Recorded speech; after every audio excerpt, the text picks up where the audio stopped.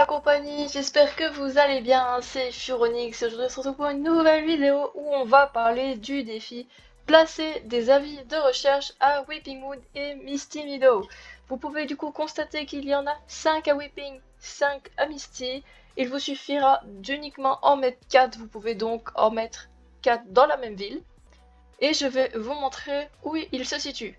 Avant toute chose, n'oubliez pas le petit like, le petit abonnement, ça me ferait extrêmement plaisir.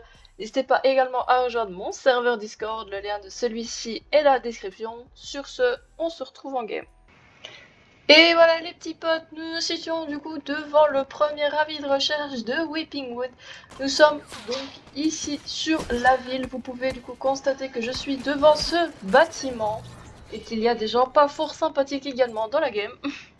Voilà, donc on y va vite, on valide le premier avis de recherche. Nous voici les petits pas devant un deuxième emplacement. Nous nous situons du coup à ce bâtiment-ci, à l'arrière du bâtiment. Du coup, voilà. Direction euh, le troisième panneau.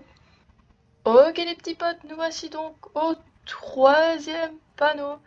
Nous nous situons du coup devant le même bâtiment que le précédent, mais dans euh, le sens inverse tout simplement, nous sommes de l'autre côté. Direction donc le dernier panneau.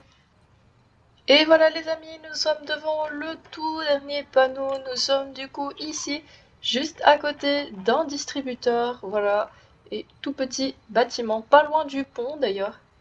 Et voilà, vous avez plus qu'à le placer et voir que votre défi se valide.